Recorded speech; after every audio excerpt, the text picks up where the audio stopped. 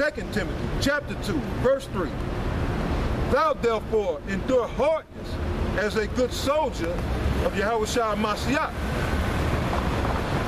No man that warreth entangling himself with the affairs of this life, that he may please him who had chosen him to be a soldier.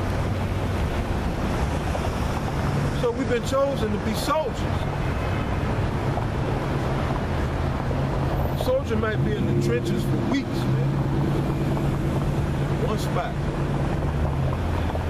Doing the same thing, man. Watching, looking ready for the ambush. The soldiers, Marines, I, you know, I, well, I just put it, I just put it as soldiers. They gave their testimony in Vietnam. They had to be in the swamp, man. They had to be submerged in the nasty swamp waters, being attacked by mosquitoes the size of wasps, and they, they had to take it. They just had to take it. You couldn't swat at mosquitoes, man. You give your position up and get your head blown off. So they had to sit there and let the mosquitoes, you know, attack them as to not give up their position so that they could carry out their mission and fulfill their mission. So right now we have a mission. We can't we can't give up our position if we wish to carry out and fulfill our mission in this truth. Our position is to endure to the end. You know? A lot of, lot of men said, fuck it. Can't stay in this foxhole no more, man. Fuck it. I'm out. While they think they still in the truth, and they, they seek a, a easier, kinder, gentler path, while they still calling on the name Yahawah Ba'Shem Yahawashi, but they're going in a way that's more teacher friendly to them. That's more profit friendly to them.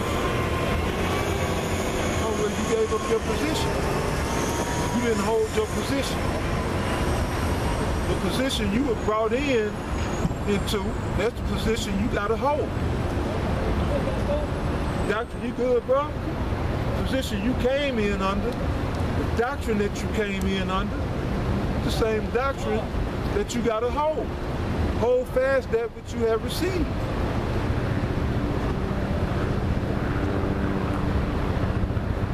It's about being a soldier.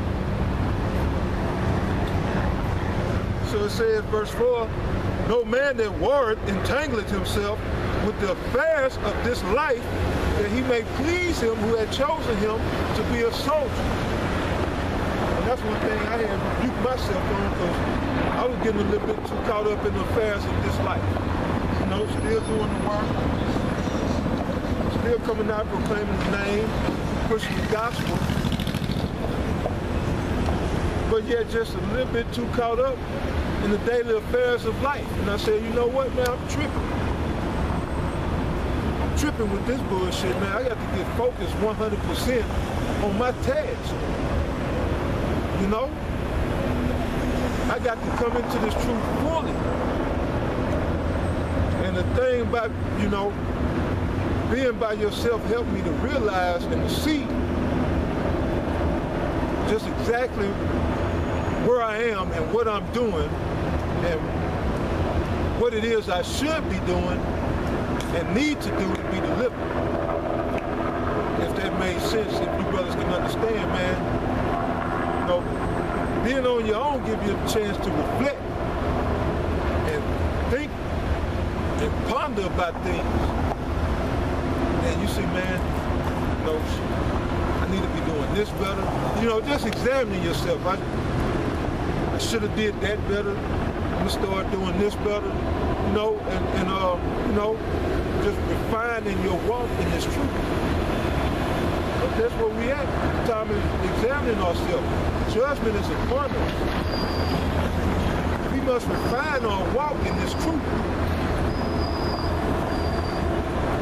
At any point you think, at any point in your walk in this truth, you think you're good, then that's good. Then re-examine yourself and do better. There's always room for better.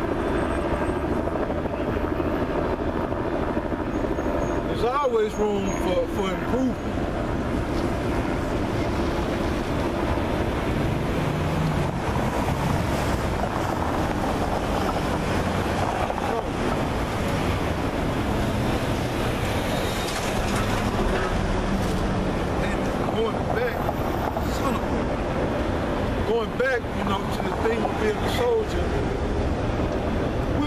This so-called white man down and his kingdom without lifting one sword, gun, knife, what nothing. Just by lifting up Yahawah Ba'ashem Shah. And this man is going down. His kingdom is falling.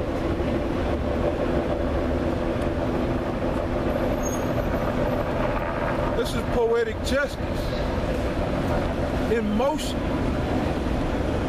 That's poetic justice in motion. See this devil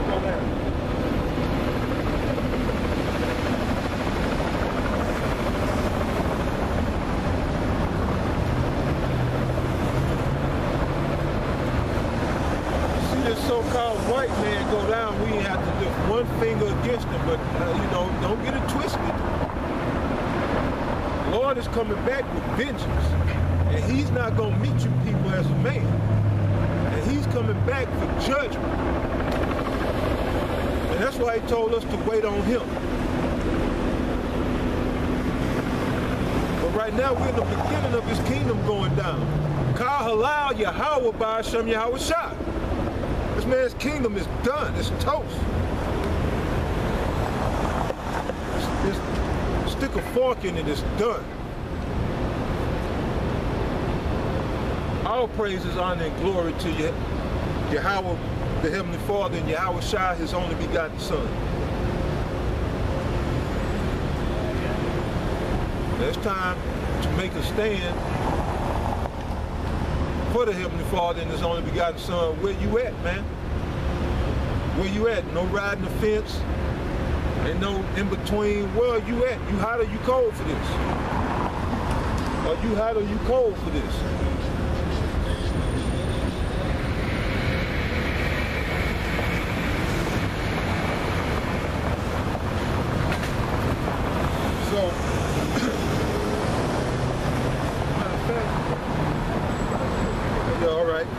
Again, 2 Corinthians chapter 10, verse 4. For the weapons of our warfare are not carnal, but mighty through the Most High to the pulling down of strongholds. Now the strongholds, those, those different, different wrong ideologies, doctrines, you know, uh, philosophies that you got embedded into your head, those are strongholds. Somebody come up saying that the Lord died for everybody. See, that's a stronghold. We're supposed to go in the scriptures, being instant in season, of season, and tear that down. Tear that madness down. Somebody say that, uh, you know, uh, Lord loves everybody. That's a stronghold. We got to be able to go into the scriptures and tear that down. and only for the elect. The, the heathen and the two-thirds of you Negroes, Latinos, and Native Americans can believe whatever you want to believe. Because it's not for you to receive this truth. It's all according to the election of grace. So, again, for the weapons of our warfare are not carnal, but mighty through the Most High to the pulling down of strongholds, casting down imaginations. And the root word to imagination is image. So you got to cast down those image of the Lord being a so-called white man. Scripture state plainly that he's a, uh, brown-skinned man, plainly. So it's easy to go into the scriptures and destroy that, but a two-third won't receive it. But Edomite damn sure won't receive it. Ham, Elam, you got a handful of these other nations, they'll tell you, I know the Lord is a black man or, or a brown, brown skinned man. Especially coming from the east. You know, they'll tell you, yeah, we know the Israelites are black and the Lord's a black man. They'll tell you that. In America, they don't have the slightest idea because of that image, which created an imagination in their head. That's why when all people pray to the Lord, and imagination pops up. White, blue-eyed Jesus pops up in their head and they go down and say, say their Lord's Prayer, or whatever prayer they praying in English, for this clown who say we don't speak the Hebrew. I pray in, I pray in the Hebrew. And I know some Hebrew, but not enough to speak it fluent but I know some Hebrew. And I can carry out the Sabbath service for the most part in Hebrew. At least 75% in the Hebrew.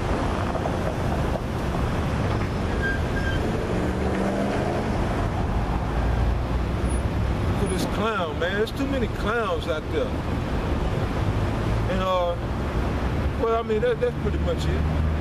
But, when, when, when all people pray, you so-called Negroes, Latinos, and Native Americans, you have that image of the white man in your head. And you praying to the white man, the so-called white man.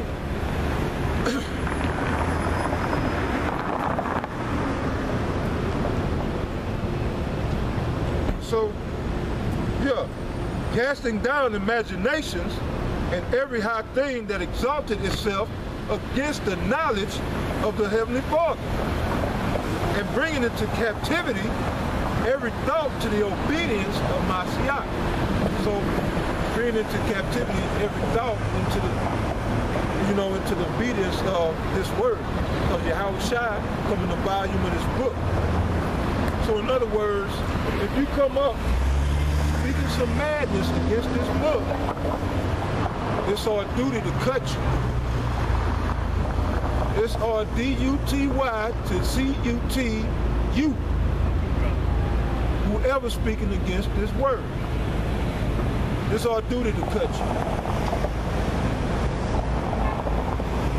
So again, we read that again. 2 Corinthians chapter 10, verse 5. Casting down imaginations and every high thing that exalted itself against the knowledge of the Most High and bringing it to captivity every thought to the obedience of Mashiach. So you got to bring it into captivity. And that's with you, with anybody else come up speaking that madness. If some madness pop up in your head, you got to rebuke that immediately and say, no, I rebuke that, this is what the scripture says. Like I say, somebody come up to you, Cornelius, or that, that uh, the heathens, I said, or the wrong side of the road. They used to be counselors at camp that was on that and it's uh, not there. Gentiles, the heathens, the other nations brought into the fold. No, you got to cut that. That's not what the scripture said. You have to bring that into the obedience of Mashiach. So all that has to be brought into the obedience. Saying Cornelius is a so-called white man, or an Edomite, I put it like that. Cornelius was not an Edomite. Cornelius was an Israelite.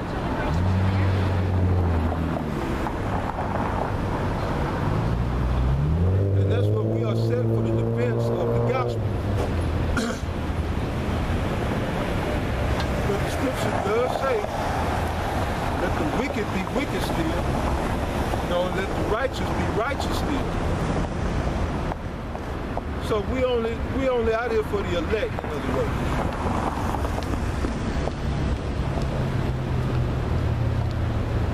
So we go back to Isaiah chapter 19 verse 3. And the spirit of Egypt shall fail in the midst thereof. And I will destroy the counsel thereof, And they shall seek to the idols and to the charmers and to them that have familiar spirits and to the wizards. and the Egyptians will I give over into the hand of a cruel Lord, and a fierce king shall rule over them, said the Most High, the Lord of hosts. So, they're going to seek to their idols, they're going to turn to their soothsayers, those who have familiar spirits, all these, you know, the charmers, yeah, that's it, the wizards, to try to obtain power. They're taking counsel. Their counsels are failing. You know? Hillary, again, Hillary Clinton was supposed to be a shoe-in for president of the United States. That counsel failed. You know, for sure, man, was they brought out about Trump saying grab him in the pussy or grab him by the pussy, that was going to be the end of it. But then guess what? Even more and greater wickedness came out against Hillary Clinton. Huma Abedin coming out against her because, oh, you're not going Thank you.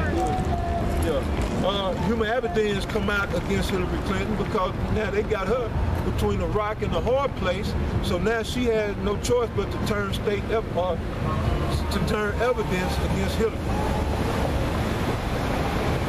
because of what they supposedly found on Anthony Weiner's uh, one of his devices, a. All this is coming up, man, and their counsels are failing. They're in a think tank. I guarantee you they're having the council somewhere right now trying to figure out what they're going to do. The uh, Patriots are gaining ground.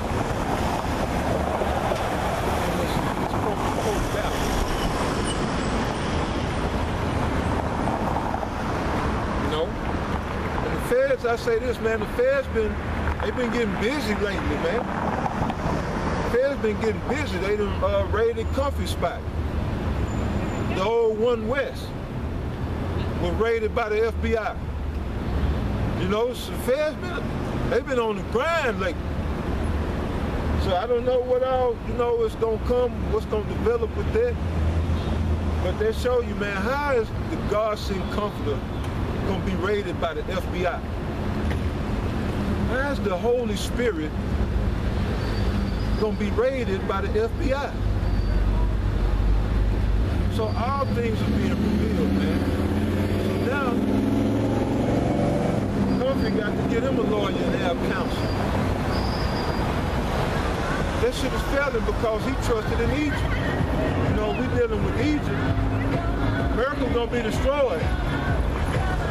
Comfy trusted in Egypt, and now look what he got. So now he's his counsel has failed, or his his spirit has failed for trusting in Egypt. And then you heard you heard on the video Sinetta put up, you know, one of the first videos that went up, the guy said they supposedly lost their tax exempt status. So, you know, that's what happened when you turn your back on Yahawah Basham Yahawashi. It's good for it's all good. What they say, it was all good just a year ago, but now look at you now. So like I say, man, you know, I'm watching to see what develops with that. I don't know all the ins and outs of that. All I do know is that the old One West was raided by FBI. Dogs and everything, all up in the building. Yeah, I remember they told us because me and the, the head brothers up in uh, Dallas, we cut our teeth dealing with the old comfy crew. They told us that we was gonna go down and they was gonna blow up. They was gonna take over this thing. Now they went from that to being raided by the FBI. You know, and I